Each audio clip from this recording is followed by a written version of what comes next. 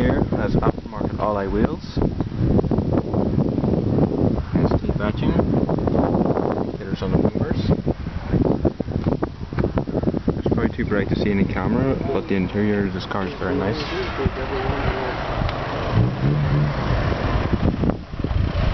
In the middle of the dashboard are three um, extra dials. Rear window of this car are very lightly tinted.